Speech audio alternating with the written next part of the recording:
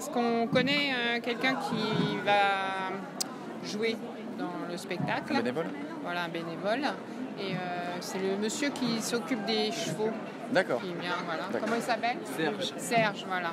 Et euh, donc, euh, comme on le connaît, on est venu, il nous a, nous a, il nous a parlé du spectacle et on a dit qu'on allait, on allait le voir. Quoi, voilà. D'accord. C'est la première fois du coup?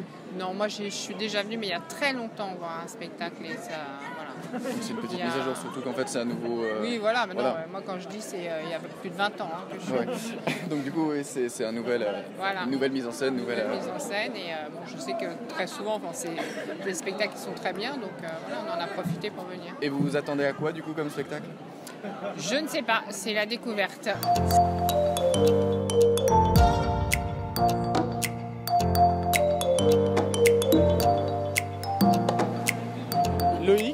Loïc, Ussy-sur-Marne. Euh, ce que j'attends de la soirée, un beau spectacle euh, sur l'histoire euh, de ce Vous l'aviez déjà vu du coup le spectacle Non, pas du tout. Donc c'est la première. Oui.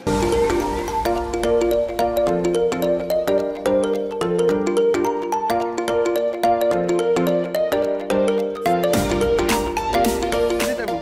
Bonjour, euh, bonsoir, pardon. C'est Philippe, euh, je viens de Reims.